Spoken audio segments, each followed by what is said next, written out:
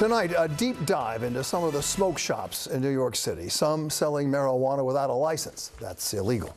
And others have become magnets for some folks bent on crime. Just this last weekend, a man was shot and killed in a smoke shop in Harlem.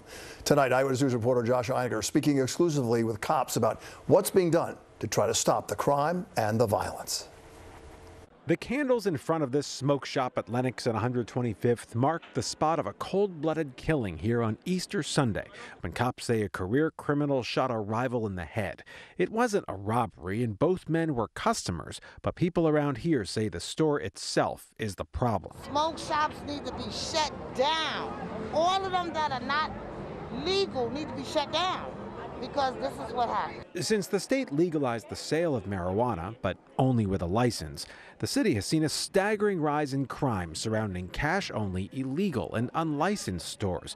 Citywide up 140% in 2022, and so far this year, up another 50%. And when you look at the amount of stores being robbed, it, it's really an issue for us right now. John Chell is the NYPD's chief of patrol. Last year alone, we had over 1,000 301 calls pertaining to smoke shops, people outside, loud music, cars.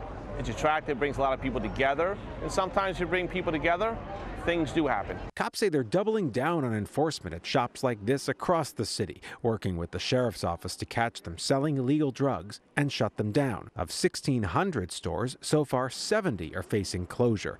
This one isn't on the list, at least not yet. Since the murder that happened here and all the attention it attracted, the owners of this store are trying to clean up their act, forcing customers to do business through a window instead of walking in to try to keep the criminal element away.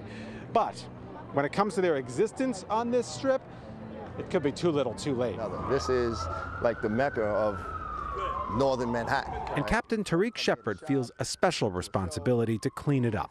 Born and raised just blocks from here, he now commands the local precinct. This is what we're supposed to be built for. This is what we do. And so, you know, if it's frustrating for the police, you can imagine how the community feels. I'm going to work with community leaders, the landlord, and make sure that problematic locations like this get closed down. At the store today, workers declined to answer our questions, and no one has accused them of doing anything illegal, but they're definitely on the radar now.